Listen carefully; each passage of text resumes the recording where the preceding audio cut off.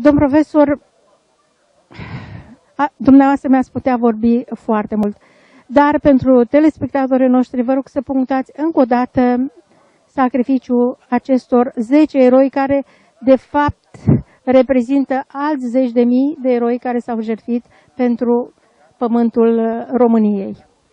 În anul 1916, o parte a României a intrat sub ocupația puterilor centrale, Gorju fiind primul județ care a intrat sub această stăpânire. Învățătorul Victor Popescu din Valea cu apă, scăpând din încercuire în zona Brătuia și nemai luând contact cu trupele românești, a constituit în județul Gorj și apoi în Mehedinți, Dolj și spre Vâlcea, un amplă, o amplă mișcare de, de gherilă, de luptă împotriva ocupantului. El atunci a gândit așa, încotro merg, încotro mă îndrept. Pact, fac pact cu diavolul, cu dușmanul, sau aleg calea luptei, cunoscând bine zona, fiind foarte bine instruit, bazându-se pe încrederea populației, Victor Popescu în decembrie 1916 face prima colecție de arme, atacă un convoi german în zona Vlăduleni și a pus mâna pe arme pe care le-a ascuns în iarnă. Mișcarea lui va începe de-abia în primăvară, când alături de el au venit doi tineri curajoși.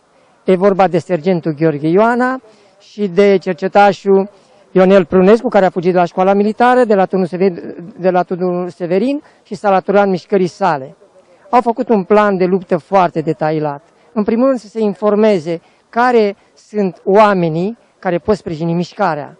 În al doilea rând, care sunt oficialitățile care pot sprijini mișcarea, care sunt elitele satelor care pot sprijini mișcarea, care sunt oameni infiltrați în această zonă. Astfel că în luna martie a adunat 30 de oameni. Dar în armata asta nu erau numai oameni ai locului. Au venit italieni, au venit ruși răzlețiți de trupele lor, au venit sârbi, care au intrat în mișcare și au participat la toate acțiunile de la Gorj până în Mehedinți. Populația i-a dat tot sprijinul. Dacă populația nu l-ar fi sprijinit, acțiunea lui Victor Popescu nu ar fi avut șanse. Și atunci, bazându-se pe sprijinul populației, pe cunoștințele sale militare, Aș vrea să vă spun că proclamațiile sale arată un, un geniu militar, un bun diplomat, se adresează soldaților, țăranilor, ofițerilor, preoților, prin care îndamnă să nu pactizeze cu dușmanul, pentru că au, soldaților, pentru că au jurat pe, pe tricolor, pe steagul sfânt al patriei. E, aceste, aceste acțiuni ale sale au avut un sprijin total al populației. Vreau să apreciez aici, în primul rând, primarii deci primarii din comunele care și-au dat viața pentru această cauză, primarul Vâlceanu de la Bolboș și primarul din, uh, notarul din, uh, Fărcășe, din uh, Negomir, Constantin Cojocaru, notarul din Bolboș. De asemenea, impresionant este atașamentul moșierului Cernăianu, dar și atașamentul și altor oameni înstăriți, care, cum spuneam în alocuțiunea mea, au dat o parte din produse ca să nu mai jefuiască populația, învățătorii, preoții, au fost aici patru învățători extraordinari.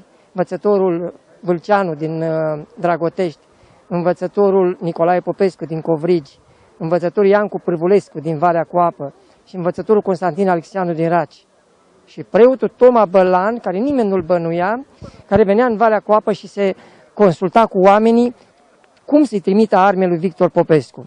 Au atacat covoaiele militare cu armament, au atacat uh, deci depozitele militare, au atacat uh, uh, gările și au luat din vagoane armament. Și mai ales au ucis patrulă după patrulă germană care mergea prin state. După ce au făcut rost de un șapilograf, au redactat proclamațiile și le-au răspândit în toată zona. Spre luna mai, autoritățile germane, văzând că nu pot să înfrângă acest grup, au adus câteva batalioane de soldați, au trecut la intimidarea rudelor. Astfel au fost arestate în mai-iunie cei 10 executați aici la turnul Severin, dar nu numai.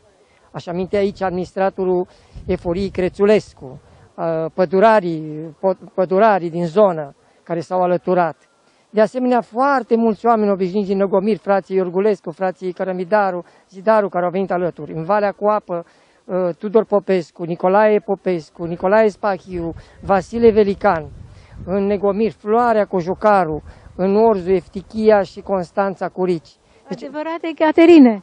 Adevărate Caterine care uh, au fost stingiuite, li s-a scos unghiile, au fost bajocorite, doamnele Cerneanu au fost bat, uh, bătute și bajocorite, uh, soțiile lor de asemenea. Aș vrea să vorbesc puțin despre, despre notarul Constantin Cojocaru din Negomir. Acesta a dat dovadă de o mare rezistență la presiuni. A încercat, văzând că sunt dat, este dat în urmărire și s-a pus un premiu pe capul său, să se refugieze în pădure. Numai că soția sa a fost arestată și era gravidă. Și atunci, văzând că soția sa și copilul său vor fi împușcați, a venit să a predat. A fost foarte demn și a recunoscut toate faptele. Adică a spus că ce a făcut va face în continuare, pentru că, de fapt, s-a revoltat împotriva celor care luau pâinea de la gura copiilor. Acest Constantin Cojocaru a fost demn și în ultima clipă și ceilalți au fost demni, uh, au, sunt cu pieptul deschis, au primit moartea, deci nu s-au înconvoiat deloc, n-a cedat niciunul.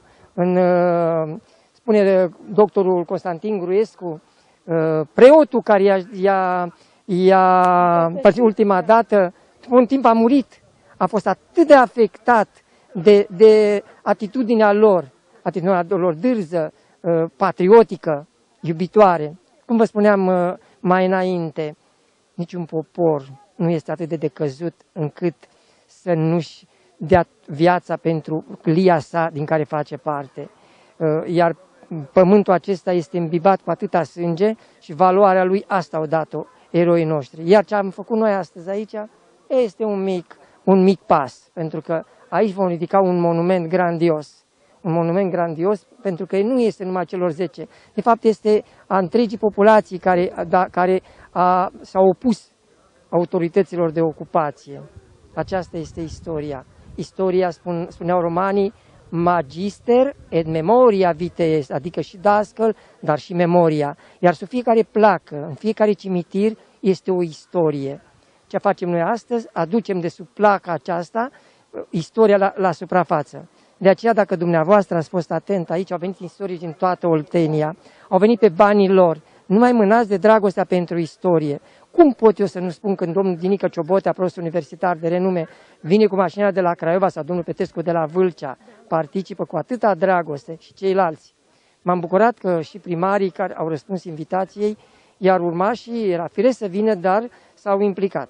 De asemenea, coechipierul meu, coechiper, coechiperul meu, doamne, mă încurcai, da, da, da, colegul meu în ale proiectului, domnul Nicu Mitroi, s-a zbătut foarte mult pentru că el de o viață dorea să-i facă un monument bunicului său. Consider o reușită acțiunea și de fapt este doar un mic pas. Da.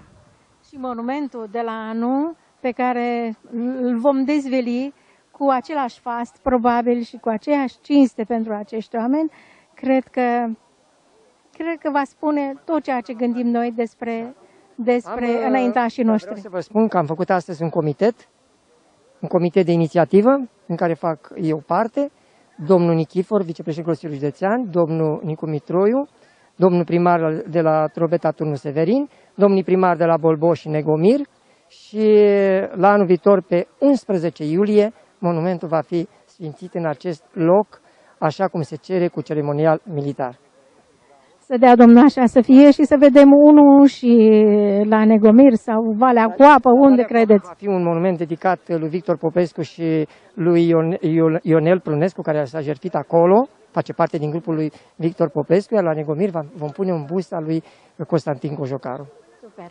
Vă doresc succes și mă alătur și eu efortului și eforturilor dumneavoastră, aceste echipe minunate, pentru a aduce o mică floare sau eu știu eu, are cunoștințe pentru acești oameni extraordinari. Pe mine personal m-a impresionat până la lacrimi uh, tot ceremonialul de astăzi și le mulțumesc uh, ca gorjancă mehedințenilor. Că ați participat la această acțiune și vă invităm și la celelalte acțiuni.